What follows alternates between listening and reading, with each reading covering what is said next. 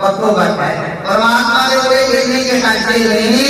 कि किसी की शक्ल किसी की लाल चटिया लाइट के पुरानी करी ये बचया तू नाम न जटिया लाइट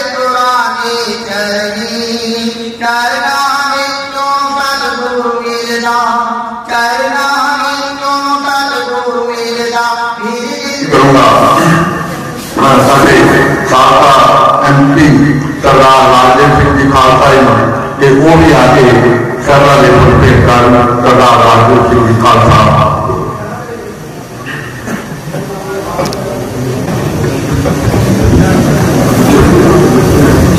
ਭੰਡਾਰ ਦੇਖਣਾ ਹੋਵੇ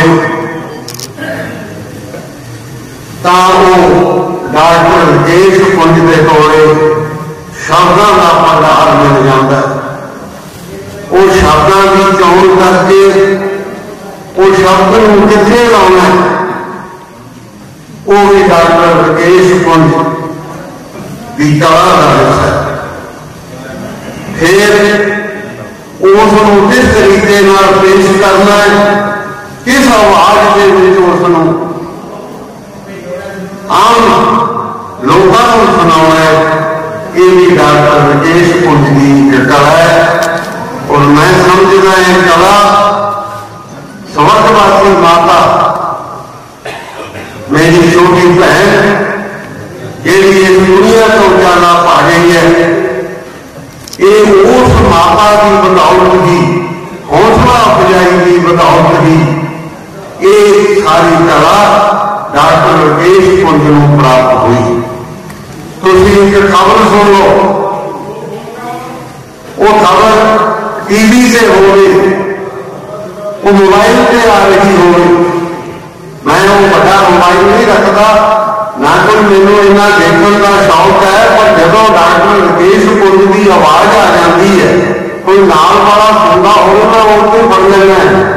कि मैंने लग कि डॉक्टर राकेश कुंज है कि डॉक्टर राकेश कुंज को कह रहे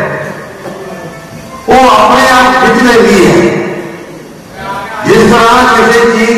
ਆਪਣੇ ਆਪ ਖਿੱਚਿਆ ਜਾਂਦਾ ਹੈ ਉਸੇ ਤਰ੍ਹਾਂ ਇਹ ਡਾਕਟਰ ਰਕੇਸ਼ ਪੁੰਜ ਦੀ ਆਵਾਜ਼ ਆਮ ਜਨਤਾ ਨੂੰ ਆਪਣੇ ਵੱਲ ਖਿੱਚਦੀ ਹੈ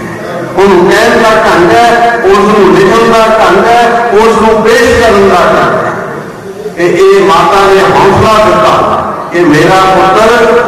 ਇਹੋ ਪੰਜਾਬ ਦਾ ਨਹੀਂ ਸਗੋਂ ਭਾਰਤ ਵਰਸ਼ ਦਾ ਵੀ ਇੱਕ ਐਸਾ